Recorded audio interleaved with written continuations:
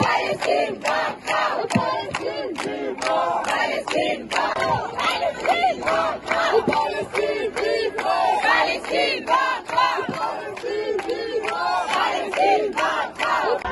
si l'affiche qui était là, elle a été déchirée ou elle...